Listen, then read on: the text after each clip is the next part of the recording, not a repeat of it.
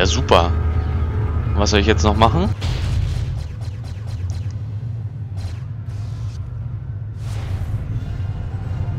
Aha, Sesam öffne dich also. Das alte Spielchen. Boah, das Outfit sieht schon mega geil aus.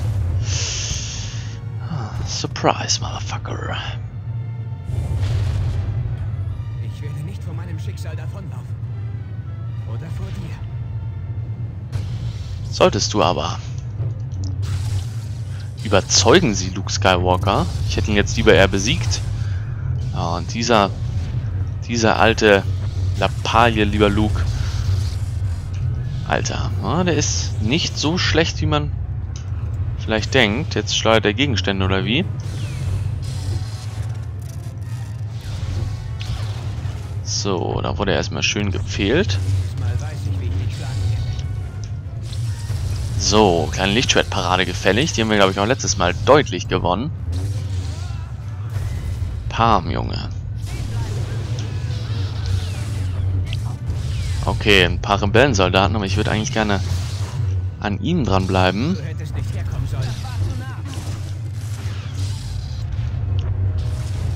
So, ich möchte eigentlich nur die kurz plätten einfach. So, Lichtschwertschleuder. Der hat einfach nicht so viel auf dem Kasten, der gute Luke. Na los. Ah, ist auch noch... Also gegen den Imperator waren das dann natürlich andere Battles, die wir da auszutragen hatten. Aber das ist hier natürlich auch Luke. Alter, wie viel hält der aus?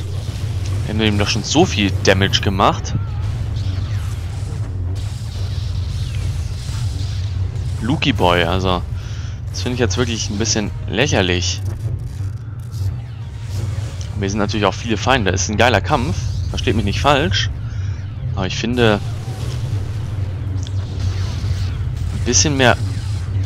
Alter, ich wollte gerade hochspringen. So, das hier sind auch Sturmtruppen. Von denen sollte ich vielleicht nicht so viel Energieregeneration erwarten.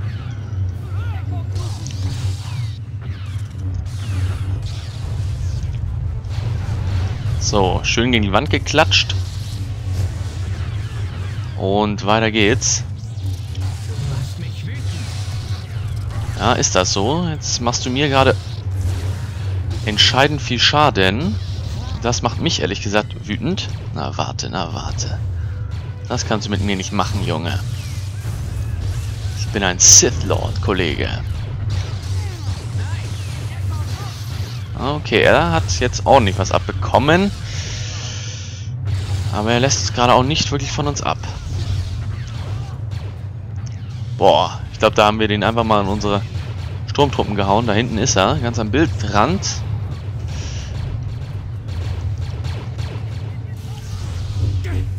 So, mein Freund. Ende Gelände. Habe.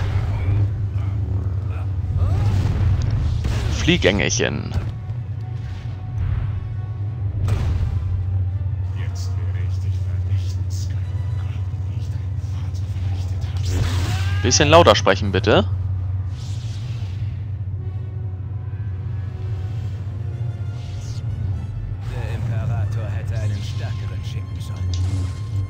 Was? Du hast gar kein gefallener Luke. Aha. Ah, das könnte jetzt äh, eine nervige Angelegenheit werden. Ach ja. Okay, das ist nicht gut. Ich glaube, da sollten wir uns fernhalten von ihm. Ja, das macht ihm nichts aus, oder was? Zack. Okay, da hat er uns gut ausgekontert. Das äh, gestehe ich ihm ohne Probleme zu. Ah, linker Stick, okay.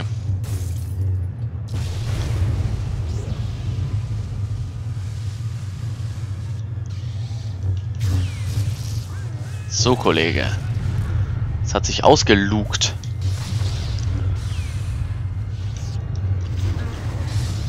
Zack. Aua.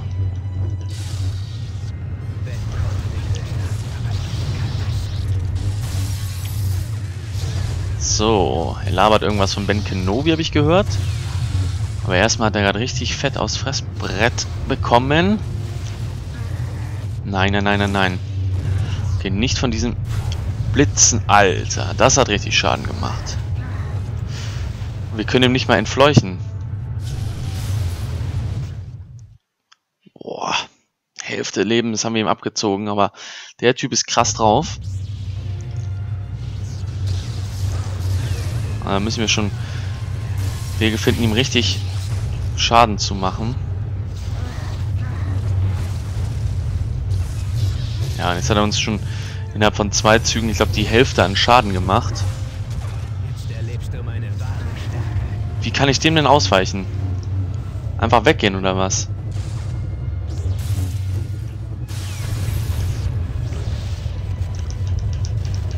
So. Na komm. Was? Nicht geschafft oder was? ist ja wohl eine Frechheit.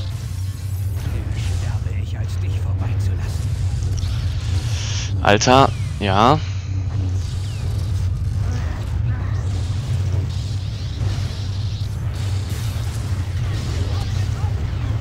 Scheiße. Ey, wir haben hier doch Feinde. Wir haben ja noch irgendwo Feinde. Ich muss meine Energie aufladen. Ich höre die hier doch. Nein, diese Blitze killen uns wieder. Boah. Okay, aber da kommen irgendwann Feinde, glaube ich. Krasser Kampf, aber wir können es packen. Ja. Komm her, Junge. Da habe ich dich am liebsten. So, das sollte easy sein, ja.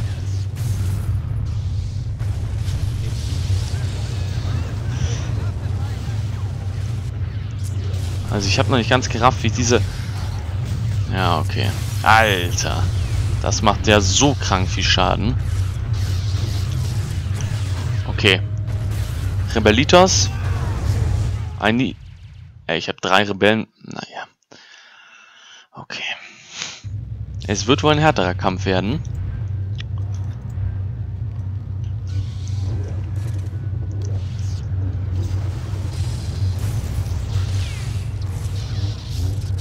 Und wenn er diese Blitze wirklich lang durchzieht, guckt euch das an.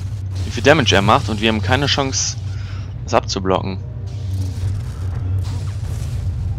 Sicherlich gibt es irgendwie eine Chance, aber... Oh, ja, Luke. Du bist krank.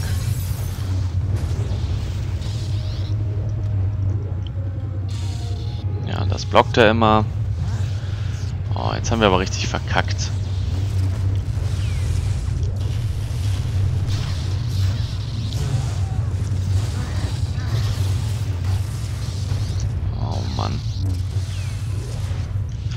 Das blockt er jetzt alles ab.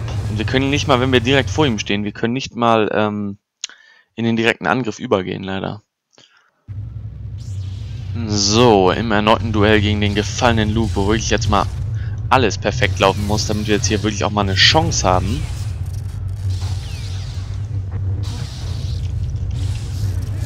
So, das war jetzt auch mal sehr in Ordnung. So, da konnten wir auch nochmal ein, zwei Angriffe anbringen. So, und jetzt in der Ecke fest zementieren. Wir haben schon gesehen, was seine Stärke ist. Genau das nämlich.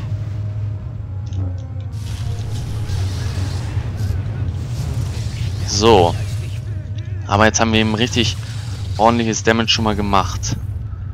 Müssen wir halt gucken, dass wir darauf aufbauen.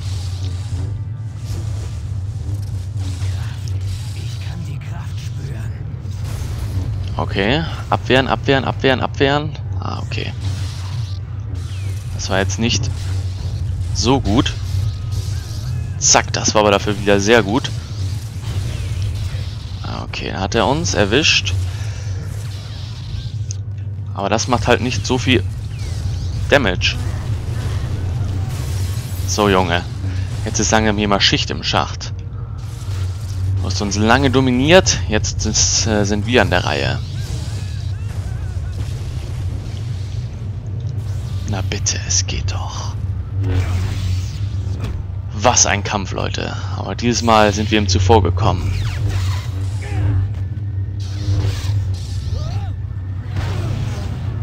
Und tschüss, Junge. Das ist jetzt nicht mehr wirklich schwer, dieser Teil. Da kann man mehr genießen und sich zurücklehnen. Vor allen Dingen ihr. Ich noch nicht ganz, aber das sollte es gewesen sein. Der rasende Falke.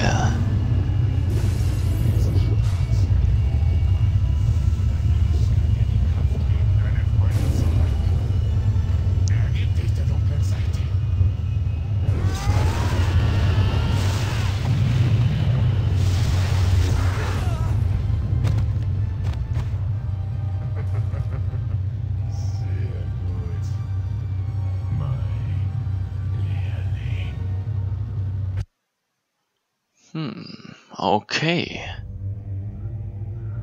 Project Lead Julio Torres. Ja, und damit sind wir wohl mit der Hot-Kampagne durch.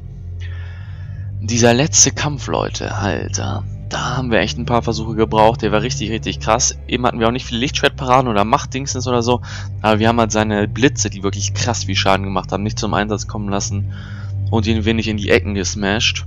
Muss man wirklich, glaube ich, auf dem Schwierigkeitsgrad einen ziemlich äh, perfekten, ja, einen ziemlich perfekten Kampf erwischen, wo man wirklich alle Kombos perfekt anbringt, um das zu schaffen. Aber das war das erste der drei äh, Bonus-Level oder der drei Bonus-Kampagnen, kann man fast sagen. Hier sehen wir nochmal die Credits. Ähm, muss ich ehrlich gesagt sagen, hat mir sehr, sehr gut gefallen, dieses Level. Nochmal richtig Spaß gemacht, war sogar deutlich spaßiger als einige andere Level, fand ich coole Gegner. Der erhöhte Schwierigkeitsgrad hat dann nochmal, ja, sein Nötigstes dazu getan, hat nochmal ein bisschen, äh, ja, bisschen Würze dazu gebracht und dieser Kampf am Ende war, glaube ich, auch der schwierigste, den wir bisher im Let's Play hatten. Also da war der gegen den Imperator, da haben wir zwei Versuche gebraucht. Hier waren noch schon einige mehr, war deutlich einfacher. Aber sehr cool, wo hier die Geschichte auf Hot erzählt wurde und dann in der nächsten Folge von sozusagen der Bonus Edition von Star Wars The Force Unleashed werden wir dann äh, das nächste machen. Ich weiß gar nicht, welche das ist. Ich müsste jetzt lügen, aber wir werden das schon herausfinden. Mir hat es auf jeden Fall eine richtig große Menge Spaß gemacht. Ich hoffe, das hat man auch ein bisschen gemerkt. Ist eben die Ultimate Sith Edition, abseits vom Spiel her. Und ähm, generell das Setting einfach in die fünfte Episode hat man sich wirklich zurückversetzt gefühlt. Dass Luke dann am Ende so richtig overpowered wurde. Der erste Kampf war super easy. Der zweite ging einigermaßen klar und der dritte war einfach nur noch krank, fand ich, weil er einfach so mega viel Schaden gemacht hat und über viel ausgehalten hat. Die beiden Komponenten haben es dann einem echt schwer gemacht. Achso, Starkiller, Emperor Palpatine, naja. Wer wen gesprochen hat, Obi-Wan Kenobi, Captain Kina, Lieutenant Marson. Ach ja, und was ich, genau, das wollte ich noch sagen, irgendwie waren die Untertitel hier oder die Gespräche sehr, sehr leise. Ich weiß nicht, ob das generell ein Fehler dieser Kampagnen ist oder ob das irgendwie an meinem Spiel lag in dem Fall. Dafür entschuldige ich mich natürlich, aber dafür haben wir auch die Untertitel. Wenn man ganz genau hingehört hat, ich habe mich immer auch versucht, abseits des Kampfes zu stellen und zu schweigen, dann hat man das, denke ich, schon äh, einigermaßen mitbekommen können, was die Herren da äh, Wichtiges zu sagen hatten. Aber auch, dass Luke dann der dunklen Seite verfällt und hier ist ein, eine ganz coole Idee. Haben sie auch gut umgesetzt, finde ich. Nur, dass er dann stärker als Imperator war, kann natürlich auch alles an dem Schwierigkeitsgrad hier liegen.